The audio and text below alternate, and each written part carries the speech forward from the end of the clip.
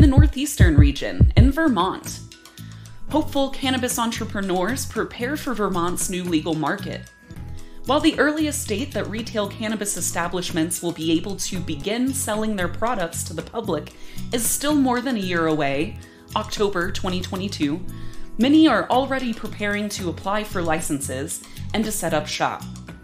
Tim Fair, a Burlington based attorney who works with cannabis businesses, says his firm has been in touch with 180 people interested in opening up marijuana ventures in Vermont.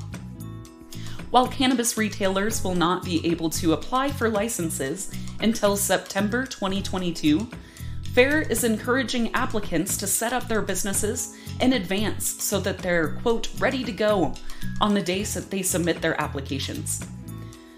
Quote, we're recommending to our clients you better have your dispensary door ready.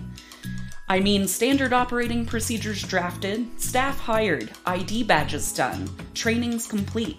We want to be able to submit our clients' applications with their projects ready to run, Fair said.